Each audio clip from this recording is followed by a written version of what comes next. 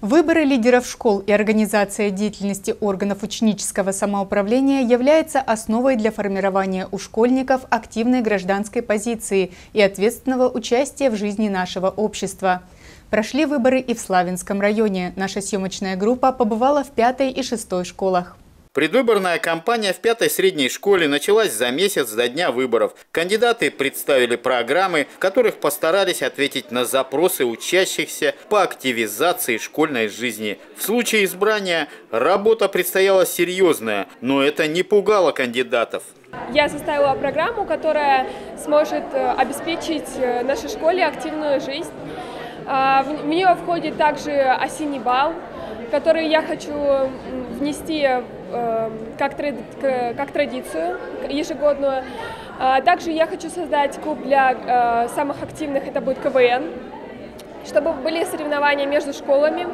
А, также я буду делать э, коробку для вопросов и пожеланий для улучшения школы. К выборам здесь подготовились отлично. Есть кабинки для голосования, избирательные бюллетени, специальные урны для них. Члены избирательной комиссии получили всю необходимую информацию для проведения выборов. Все вполне всерьез и по-взрослому. Кандидаты, которые претендуют на должность президента, вывешивают свои плакаты на вот этой стене. Вот, э, буквально на прошлой неделе они ходили по классам, рассказывали о себе. У нас была агитация, не было дебатов.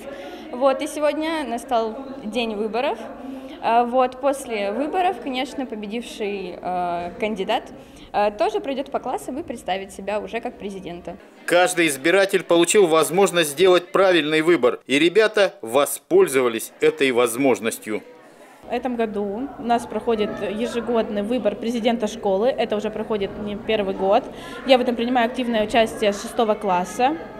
Э, каждый раз, когда вывешивают сами плакаты с кандидатами на любой пост, я знакомлюсь с их программами, оцениваю, у кого она какая, у кого лучше, и выбираю самого лучшего кандидата на должность президента.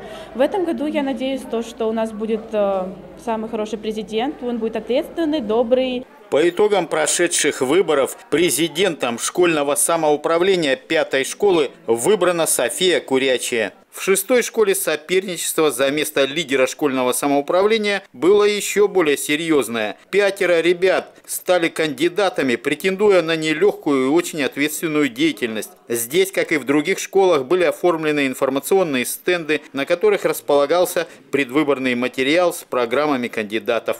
Мне интересна общественная работа, интересно работать с ребятами. Первым делом я хочу вести кружок НВП, то есть начальной военной подготовки, чего у нас в школе нет, чтобы мы могли готовиться к разным соревнованиям, э, бегать, разбирать, собирать автоматы. Такие же программы вести, как КВН, что где когда. Ну, когда-то они были у нас в школе, уже их нету, к сожалению. Заместитель главы Славянского района по социальным вопросам Виталий Титаренко познакомился с организацией выборов в школе. Выборы здесь действительно проходили очень четко. Организация на высоком уровне.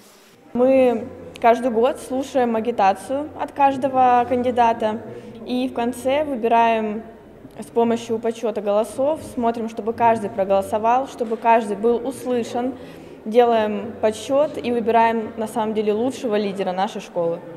Ребята смогли сделать свой выбор. Лидером школьного самоуправления стал Станислав Захаров. Его кандидатура была наиболее привлекательной для школьников. Ему предстоит развивать самоуправление, стать инициатором интересных мероприятий, словом, привнести свежие идеи и организовать добрые дела. Андрей Вишневский, Станислав Бурбыка, программа «События».